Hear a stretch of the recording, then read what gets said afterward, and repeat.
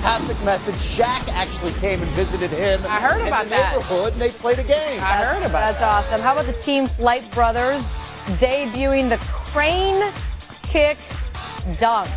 Yeah, you got to see that a couple times to really appreciate it.